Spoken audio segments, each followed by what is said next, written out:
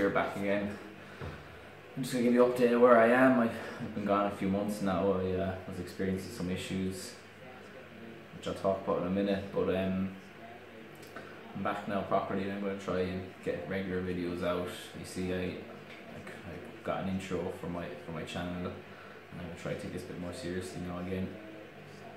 The reason for the delay was I was having some issues with my my discus where one of them caught himself really bad, cut himself really badly off one pieces of wood I had in the tank.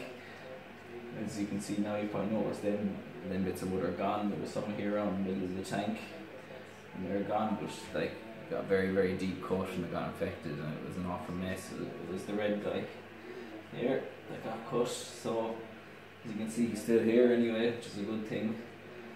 But at the time when when it happened, I didn't realize it was a cut. I actually thought it was ick initially, so I started panicking, and I ended up treating the tank for ick, the whole tank.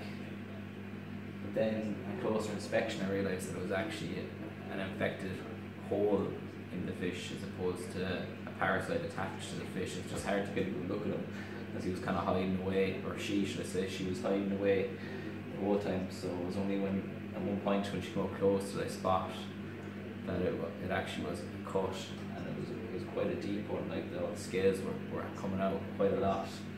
So anyway, when I treated the tank, it went into a bit of a meltdown. To be honest, um, I think I might have had a mini cycle. All the fish weren't too happy about it really, and that's why I haven't been doing videos because I was kind of rushing to try and get the tank back in order. And luckily, none, none of my discus died. I did lose one Cory cat, unfortunately. That was the only casualty throughout the whole process. So, so I wasn't happy to lose the Cory, but again, I was, I was still happy to be able to save the discus, especially one that had the infection, because it was pretty looking pretty bad there at one point. She's only really started eating about two, three weeks ago. She, she, I, she, I think she didn't eat for almost a month. Like that's her there swimming up again, and she's back to her usual aggressive self anyway. So it's looking good, and all the all the other discus are, are happy now again as well. You can see they're over wanting me to feed them as usual. Like we only fed them about an hour ago, and they're back over again, which is always a good sign with discus. So that's the update with the discus tank. All is good now. So back in the game. And I'm going to start a series on keeping discus, a seven part series. Just going to break it down in seven videos so there's not one there are too many long videos because there's a good bit to cover. So I'm going to start working on that probably next weekend and and I'm going to be using my own experience on it like as, as you know yourselves um, you do a lot of research online. If you're if you take this hobby seriously anyway, you do a lot of research online and although I do a lot of reading, I do a lot of my research through YouTube videos and it's not always um, correct information or, or, or it might not always apply to your particular tank. So I'm gonna just do a series of my experiences only. I'm not gonna be trying to throw any of these facts unless I'm certain they're true. And hopefully a bit to help some other discus keepers. Um, so that's an update as far as my, my discus tank goes because I'll be covering even the outbreak I had, or not even the outbreak, the, the injury I had, the fish and everything throughout that series. But I have set up a marine tank, so I'm gonna go and show you. Um, so this is the marine That. tank. It's a, it was the old breeding tank, if you if you remember that. Um, so far, I put live rock in it, and it's been cycling now. It's been cycling. a good- Well, I mean, it's cycled. It's been going a couple of months now, and I've just put in a cleanup crew in there. We've done a good job on, on cleaning cleaning the the dirt that was on the live rock. You know, I've got my cleaner shrimp here, um, so I have to feed the tank. I like to feed him primarily, and then I've got ten hermit crabs. Some I think they're called Nassarius snails, um, an emerald crab, and a turbo snail, and that's the cleanup crew I have in there. As regards, I've got a few hitchhikers on the on the uh, rock I got. Like I have some sponges, you probably can't see them now. I got a couple of sponges.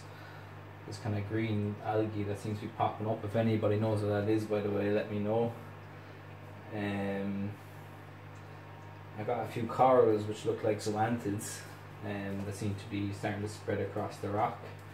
The rock itself came with uh, mantis shrimp as well, uh, but he died, which was which after research turns out to be a good thing apparently. Um, I threw in some shells then just so the, the hermits don't don't start killing each other for the time being anyway. And this cleaner shrimp has pulled out two dead bodies of other cleaner shrimp that obviously tried to hitchhike as well. Um, and there was various other kind of sea critters that were dead. So early in the early stages, they they went quite well in, in um, cycling the tank. So like my nitrates and everything up to the roof. So when all that came back down, I knew I was it was done, and it, and we were at quite a good level with, with the beneficial bacteria. So I was happy with that. So in terms of setup, I have obviously the live rock. It's got coralline algae on it already, and it seems to be starting to take over a bit. It's kind of died off a bit when I first got it, but the coralline algae seems to be coming back in now.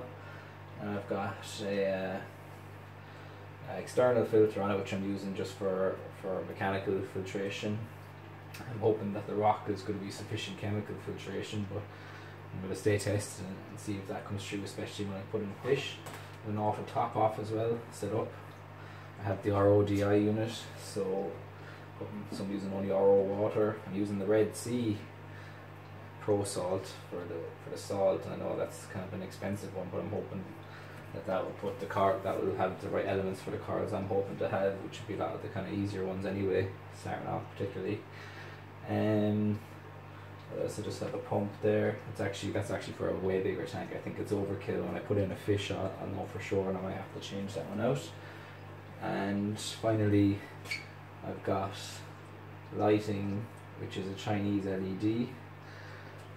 I'll, so I'll just I'll just pop over and show you that now.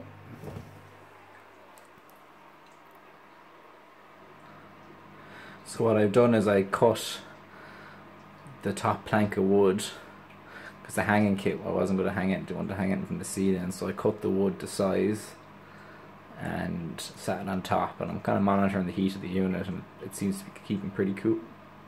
So it doesn't seem to be a problem. If it does become a problem I'll uh, I'll have to think about putting it up on top of something that doesn't conduct the heat but so far the unit stays cool. Don't have the lights on that long. I think I only have them the whites on for six hours a day on a timer. And I got some more timers so I'm going to use the blue lights because the whites are on a timer so put that back onto the timer and that's the blue lights but I haven't got the blues on a timer yet so I don't know what time period to put it on and if anyone could recommend um, a good timing period because the way I'm going to have to do it is I'm going to have timed blue and then timed white red and whatever. I don't know if there's another light in there, but I'm gonna need a um, help on that. If, if anyone could help, maybe Patrick, if you're watching, you could you could give me your advice because I know you're you're running a pretty similar LEDs and you've got corals and so on. So if you figured out a good lighting scheme and you could let me know, that'd be brilliant because I I could go out and start off with that anyway and see how it goes. But anyway, that's that's the update from you guys and I hope you enjoyed it and I'll be hopefully doing weekly videos now going forward and let me know if, what you think of my, my logo and my intro and all that. Um, thanks guys, take it easy.